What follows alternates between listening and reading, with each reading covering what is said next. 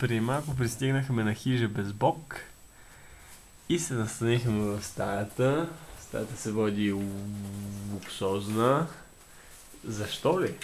Защото има сателитна телевизия. Твърдя, че има Wi-Fi.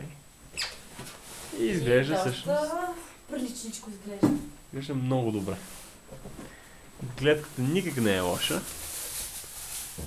Все още има хора каращи ски, макар че вече снега сигурно се е размекнал. И се готвиме да обядваме.